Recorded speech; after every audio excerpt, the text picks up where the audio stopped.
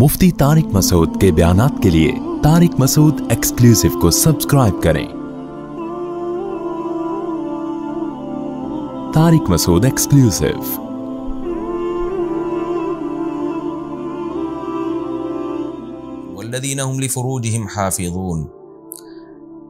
कामयाब लोग वो हैं जो अपनी शर्मगाहों की हिफाजत करते हैं, सिवाय अपनी बीवियों के अवमा मलकत ईमानहम या अपनी बांदियों के। फ़ैन गैर मलूमीन, बस ये लोग काबिल मलामत नहीं हैं।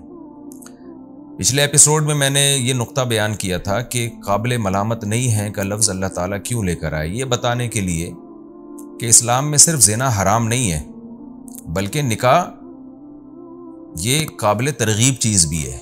यानी आपने जिना से बच के अकेले ज़िंदगी नहीं गुजारनी, बल्कि आप ने निकाह करना है और अपनी ख्वाहिश को हलाल तरीके से पूरा करना है आपने। क्योंकि फितरत ये चाहती है, इस्लाम ये चाहता है कि मर्द और औरत का मिलाप हो और उसके नतीजे में आगे नस्ल पैदा हो। बुनियादी मकसद ही इस मिलाप का नस्ल पैदा करना है। एक बात तो ये, यहाँ दो नुकात और हैं। एक ये कि मुता इस्लाम में हराम है। इस बारे में के दो कॉन्सेप्ट हैं। देखें, अहले सुन्नत वल जमात का इस पर तो इजमा है कि मुता हराम है बिल्कुल, इसमें तो दो राय हो नहीं सकती। शिया हजरात सिर्फ़ इसमें इख्तलाफ करते हैं। लेकिन अहले सुन्नत वल जमात का इजमा हमारे नज़दीक हजत कतिया है। उससे इनहराफ जायज़ नहीं है। शिया हजरात, मोतज़ली, खवारिज, ये जितने भी लोग थे, इनके इजमा की मुखालफत उसको अहल सुन्नत ने कभी भी वैल्यू नहीं दी है। क्योंकि अहल सुन्नत वल जमात हैं जो कुरान, हदीस, इजमा और क़यास को हजत मानते हैं। तो ये खूब समझ लें कि जब ये कहा जाता है कि उम्मत किसी मसले पे जमा हो जाए तो वो यकीनी दलील है, उससे इख्तलाफ जायज़ नहीं है। तो यहाँ उम्मत से मुराद कौन लोग हैं? वो लोग जो अहल सुन्नत वल जमात हैं, यानी जिनको उर्फ़ में सुन्नी कहा जाता है। क्योंकि किताब सुन्नत को हजत मानते हैं अदीस को, कुरान को और फिर सहाबा को हजत मानते हैं। नबी सल्लल्लाहु अलैहि वसल्लम ने जो जन्नती फ़िरका है, उसकी जो अलामत बयान की, वो अलामत ये थी कि माँ अना ही व असहाबी, जो जिस पर मैं और मेरे सहाबा होंगे। तो इसलिए हमारी नज़र में कुरान और सुन्नत की वो तशरी जो सहाबा के अगेंस्ट हो, वो जायज़ नहीं और ये भी खूब समझ लें कि किसी भी दौर में, किसी भी टाइम पे उम्मत किसी मसले पे जमा हो गई तो उससे पहले अगर इख्तलाफ था भी तो उस इख्तलाफ की वैल्यू ख़त्म हो जाती है। क्योंकि नबी सल्लल्लाहु अलैहि वसल्लम ने फरमाया, ला तजतमी उम्मती अला ज़लाला मेरी उम्मत गुमराही पे जमा नहीं हो सकती। जब नहीं हो सकती तो इसका मतलब किसी, क़यामत तक कभी भी नहीं हो सकती। तो किसी भी दौर में उम्मत किसी भी मसले पे इत्तेफाक हो गया तो उससे पहले अगर इख्तलाफ था भी तो अब ये नहीं कहा जाएगा, जी, पहले ये मसला इख्तलाफी था, लिहाजा मैं अब अब भी इसमें इख्तलाफ कर ना ना ना। जब एक दफ़ा इत्तेफाक हो गया तो अब ये कतई दलील बन चुका है, क्योंकि उम्मत गुमराही पे जमा नहीं हो सकती। जमा हो गई, इसका मतलब ये गुमराही नहीं है। ये ये अल्लाह के नज़दीक ये मसला इसी तरह से ही है। तो मुता के हराम होने पर भी अहल सुन्नत वल जमात का इजमा है। अलबत् इसमें इख्तलाफ है मुफसरीन का, फ़ुकहा का मुहदसिन का, कि मुता इस्लाम में हराम कब हुआ? तो आम तौर पर जो मशहूर राय है, वो ये है कि मुता को मदीना मुनवरा में हराम करार दिया गया और नबी सल्लल्लाहु अलैहि वसल्लम की सही हदीस है इस बारे में कि आप सल्लल्लाहु अलैहि वसल्लम ने योम खबर के मौके, योम खैबर के मौके पर मुता को हराम करार दिया। लेकिन में से बहुत से हजरात की ये भी राय है कि मुता इस्लाम में एक सेकंड के लिए भी हलाल नहीं हुआ है। खूब समझ लें। यानी एक सेकंड के लिए भी हलाल नहीं हुआ। तो ये जो नबी सल्लल्लाहु अलैहि वसल्लम से इस तरह के अल्फाज मनकूल हैं कि मैं हराम कर रहा हूँ मुता को, इससे ये लगता है कि जैसे इससे पहले आप सल्लल्लाहु अलैहि वसल्लम ने हलाल किया था, इसी तरह बाज़ अदीस में आता है कि साहबा कराम में बाज़ हजरात पहले मुता किया करते थे, लेकिन उनको रोका नहीं गया, फिर नबी सल्लल्लाहु अलैहि वसल्लम ने हराम किया। अच्छा इस तरह की भी अहादीस हैं कि मुता दो दफ़ा हराम हुआ है, यानी एक दफ़ा हराम हुआ, फिर इजाज़त दी गई, फिर हराम हुआ। तो खूब समझ लें, बाज़ महक़ अहल इल्म, इसका ये मतलब बयान करते हैं कि हुआ ये था कि मुता हराम तो मक्का में ही हो गया था। जैसे कि ये जो कुरान की आयत है, ये तो मक्की आयतें हैं, इस पर तो पूरी उम्मत का इजमा है कि सूर्य मोमिनून मक्का में नाजिल हुई है। और इसमें अल्लाह ताला ने ख्वाहिश पूरी करने का एक ही रास्ता बयान किया, वो है बीवी या बांदी। जबकि जिस औरत से मुता किया जाता है, अरबी में उसको बीवी नहीं कहा जाता था, अरब के कल्चर में भी उसको बीवी नहीं कहा जाता था। तो अगर मुता हलाल होता तो कुरान उसका भी तो तस्करा करता ना। और ये बड़ी मज़बूत बात है। तो इससे पता चलता है कि मुता हराम मक्का में ही हो गया था क्योंकि इस्लाम ने इस बेगैरती की एक सेकंड के लिए भी इजाज़त नहीं दी है।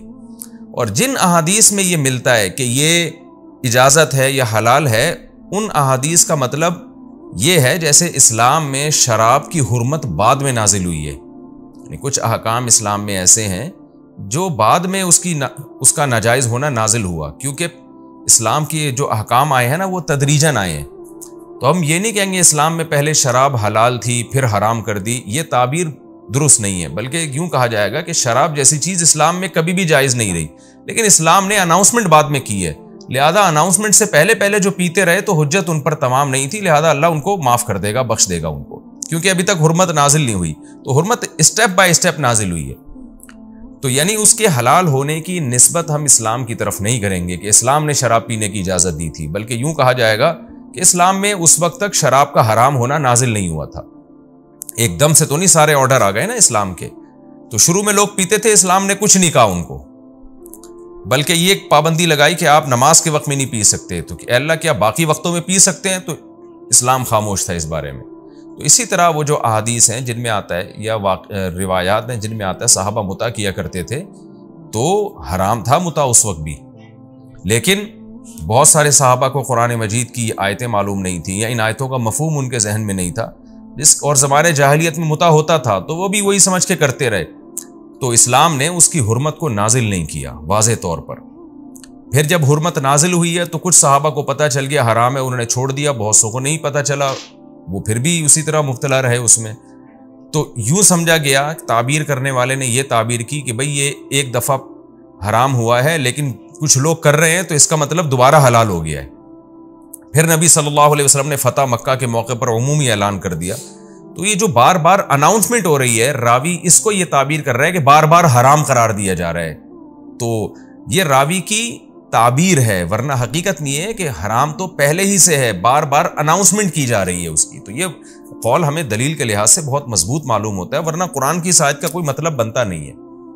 और फिर हज़रत उमर रज़ी अल्लाह तु ने हमेशा के लिए उस पर पाबंदी लगा दी। यहाँ भी आप खूब समझें, सही है मुस्लिम की हदीस है, हज़रत जाबिर बिन अब्दुल्ला रज़ी अल्लाह फरमाते हैं कि हम नबी के दौर में भी मुता किया करते थे, हज़रत अबू बकर के दौर में भी हज़रत उमर ने हम पे पाबंदी लगाई। यहाँ भी आप देखें, इससे क्या पता चलता है कि मुता तो नबी के दौर में भी हराम नहीं हुआ, अबू बकर के दौर में भी हराम नहीं हुआ, हज़रत उमर ने हराम किया। इसका भी वही जवाब है कि भाई, हज़रत जाबिर बिन अब्दुल्ला को नहीं पता चला कि मुता हराम हो चुका है इस्लाम में। तो वो ये समझते रहे कि अबू बकर के दौर में भी हलाल था, पैगंबर के दौर में भी हलाल था, हज़रत उमर ने हराम किया है। हालाँकि हज़रत उमर अल्लाह के हलाल को हराम नहीं कर सकते। अनाउंसमेंट की थी। तो खूब समझ लें, बाज दफ़ा अनाउंसमेंट होती है, उसको ताबीर यूँ किया जाता है कि हराम करार दिया जा रहा है। हालाँकि हराम पहले हो चुका होता है, अनाउंसमेंट बाद में होती है उसकी।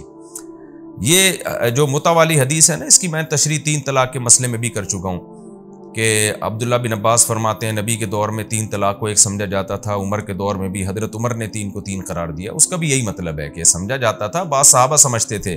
हालाँकि तीन के तीन कहने की जो आयतें हैं, वो नाजिल हो चुकी थी कुरान मजीद में। अबू बकर के दौर में भी नाजिल, यानी उन पर अमल होता रहा। लेकिन बहुत सारे साहबा को इल्म नहीं था तो वो तीन को एक समझते रहे। हज़रत उमर ने उमूमी अनाउंसमेंट कर दी। तो बाज़ दफ़ा रावी की ताबीर होती है, जिससे हम कंफ्यूज हो जाते हैं। तो लेकिन आप दीगर अहादीस को अगर मिलाते हैं तो पता चलता है कि रावी की ये अपने अल्फाज हैं। रावी की ये अपनी एक ताबीर है। हर आदमी जब किसी बात को बयान करता है तो उसकी ख़ास किस्म की ताबीर होती है। तो खुलासा ये निकला कि तीन तलाक भी नबी के दौर में तीन ही थी, लेकिन बाद साहबा ये समझते थे कि एक हैं, क्योंकि ज़माने जाहलीत में एक समझी जाती थी। तो वो ये समझते रहे कि हज़रत उमर ने पाबंदी लगाई। इसी तरह मुता मक्का में हराम हो गया था, लेकिन बाद साहबा को इल्म नहीं था। उन्हें, उनमें से बास को पता चला मदीना में हराम हुआ तो उन्होंने कहा कि मदीना में हराम। बास को पता चला कि नहीं, दो दफ़ा अनाउंसमेंट हुई है तो वो समझे कि दो दफ़ा हराम हुआ है, दो दफ़ा हलाल था। और बाज़ ये समझे कि ये अनाउंसमेंट तो हज़रत उमर के दौर में हुई है, लिहाजा हराम ही हज़रत उमर के दौर में हुआ है और हराम ही हज़रत उमर ने किया है गोया के। तो ये सब ताबीरात का इख्तलाफ था, हकीकत यही है कुरान की साइज़ से वाज पता चल जाता है कि मुता इस्लाम में हमेशा से हराम रहा है। हाँ ज़माना जाहलीत में जायज़ समझा जाता था तो इस्लाम ने अनाउंसमेंट उसकी मुख्तलिफ़ मरहलों में की है। और हज़रत उमर का दौर खिलाफत बहुत मज़बूत था तो हज़रत उमर ने अमूमी कानून बना दिया कि अब अगर कोई मुता करेगा तो मैं उसको रजम करूँगा, जिना वाली सजा देके पत्थरों से मार के हलाक करूँगा उसको मैं। क्योंकि बाज़ लोगों को समझते थे कि मुता हलाल है, बाज़ समझते थे कि हलाल नहीं है। तो उमर ने उम्मी कानून बना दिया, भाई ये बिल्कुल हराम है, अब इसमें किसी का कोई उज़र नहीं चलेगा। तो ये खूब समझ लें कि ये जो मुता है इस्लाम में इसी आयत की रोशनी में हराम है। अब मुता होता क्या है, ये भी मैं बताता चलूँ। मुता कहते हैं, किसी खातून से एग्रीमेंट करके टेम्परेरी निकाह करना। ये शिया हजरात के यहाँ इसको जायज़ समझा जाता है कि टेम्परेरी निकाह करना। टेम्परेरी निकाह का मतलब दिल में सिर्फ़ नीयत नहीं है आपके कि मैं इसको बाद में छोड़ दूँगा, बल्कि जबान से एग्रीमेंट है कि चंद सालों के लिए, चंद महीनों के लिए, चंद हफ्तों के लिए, चंद घंटों के लिए आप किसी खातून से माहिदा करते हैं, दो गवाहों की मौजूदगी में एजाब कबूल करते हैं। ऐसे एजाब कबूल जैसे बाकायदा निकाह में होता है। तो इस तरह से एजाब कबूल होता है, जब वो टाइम गुजरेगा तो औरत खुद ब खुद इस मुता की पाबंदी से आज़ाद हो जाएगी। ये अमल मुता कहलाता है। तो हकीकत यह है कि इसमें और जिना में कोई फ़र्क है नहीं।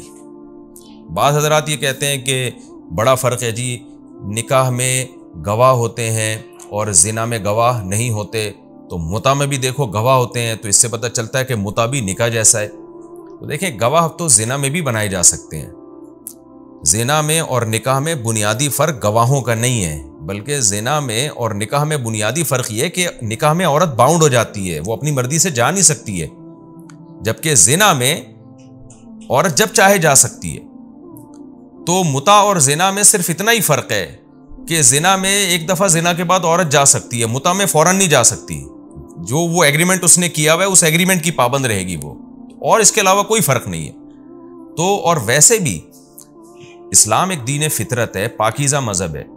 जो लोग भी मुता को हलाल कहते हैं, उनसे एक सवाल पूछा जाए कि जब आप अपनी बेटी का निकाह करते हैं, शादी करते हैं, आप कार्ड बांटते हैं, दुनिया को दावत देते हैं, अपने दामाद से बीसियों लोगों को आप मिलाते हैं इस अमल में आप फख्र महसूस करते हैं, क्योंकि आपकी रिश्तेदारी बढ़ गई है। बल्कि दामाद अगर ज़्यादा अच्छी क्वालिटी वाला है तो लोग फ़ख्र से मिलवा रहे होते हैं, मेरे दामाद हैं, ये चार्टर्ड अकाउंटेंट है, ये फ़ौज में इतना बड़ा ऑफिसर है, ये इतना बड़ा सियासतदान है, या ये इतना बड़ा डॉक्टर है। कि मुता एक इतनी गंदी एक बुरी चीज़ है कि कोई भी शख्स जिसमें ज़र्रा बराबर भी गैरत तो कभी अपनी बेटी का ये तारुफ नहीं करवाएगा कि ये मेरी वाइफ है और ये शख्स जो है, ये इससे मेरी वाइफ सॉरी ये मेरी बेटी है। और ये फ़ला शख्स है जिससे मेरी बेटी का मुता वाला एग्रीमेंट चल रहा है। और फ़िलहाल ये मेरा दामाद है, दो महीने के लिए या छः महीने के लिए। इससे पता चलता है कि ये एक ऐसी बेशर्मी वाला काम है कि कोई भी गैरतमंद आदमी इसकी तरफ़ नस्बत भी पसंद नहीं करता।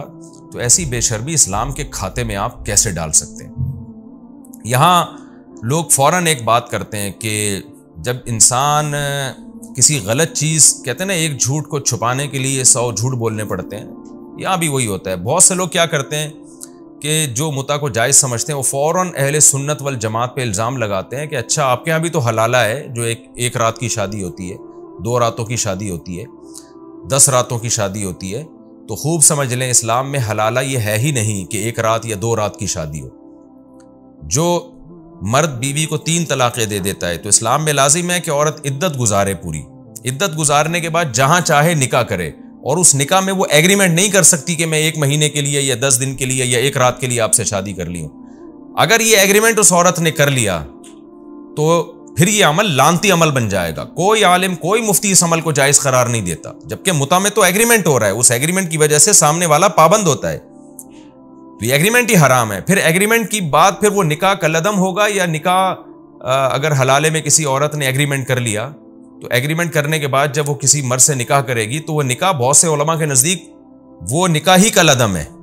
और बहुत से उलमा के नज़दीक निकाह तो हो जाएगा, लेकिन लानती अमल कहलाएगा। दोनों को मलामत की जाएगी। यहाँ तक कि हुकूमत पर लाजिम है कि दोनों को ताज़ीर दे।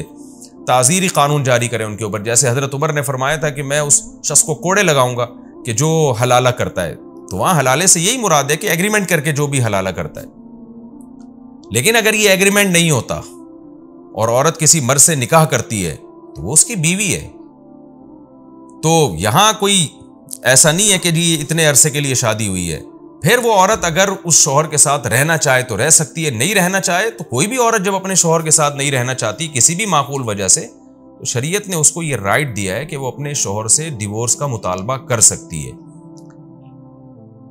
जैसे हज़रत जमीला बिनते साबित रज़ी अल्लाह का है कि उनके शोहर उनको पसंद नहीं आए तो उन्होंने आप सल्लल्लाहु अलैहि वसल्लम से कहा कि मैं अपने शोहर के साथ नहीं रहना चाहती।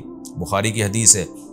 तो आप सल्लल्लाहु अलैहि वसल्लम ने उनके शोहर को बुलाया और जमीला बिनते साबित नहीं थी, हज़रत जमीला उनके वालिद का नाम इस वक्त जहन से निकल गया। तो आपने उनके शोहर साबित अल अंसारी को बुलाया और उनसे कहा कि तलाक दे दो तो उन्होंने दे दी तलाक। नहीं देते तो नहीं देते अब लेकिन उन्होंने कहा कि दे देनी चाहिए।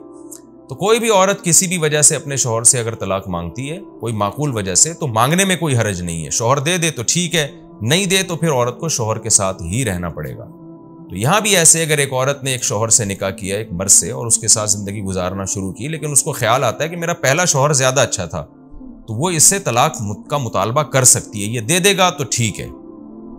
इद्दत गुजारे औरत जहाँ चाहे निकाह करे तो जहाँ चाहे निकाह में जैसे किसी से भी निकाह बेगैरती नहीं है तो पहले वाले शोहर से निकाह करना भी बेशर्मी और गैरत के खिलाफ नहीं है। और अगर वो शोहर तलाक नहीं देता तो फिर औरत पर लाजिम है कि शोहर के साथ रहे। लेकिन मुता में इनमें से कोई भी काम नहीं होता। मुता का मतलब यही है कि टाइम पूरा हो गया और एग्रीमेंट ख़त्म हो गया। इसलिए मुता और जो जायज़ हलाला है, उसमें ज़मीन आसमान का फ़र्क है। उसको इस पर क़यास ना किया जाए।